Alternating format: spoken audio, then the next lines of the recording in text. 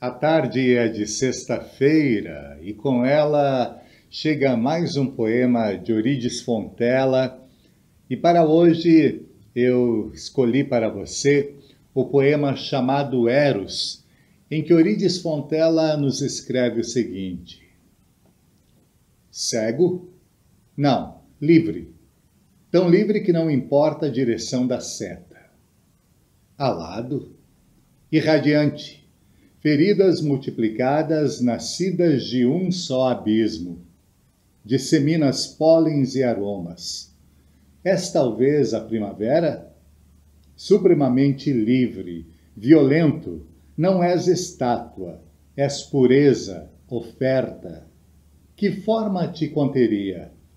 Tuas setas armam o mundo enquanto, aberto, és abismo inflamadamente vivo. Eros de Eurides Fontela. Vale a pena ler. Fique bem, fique em casa, use máscara se tiver que sair e até amanhã.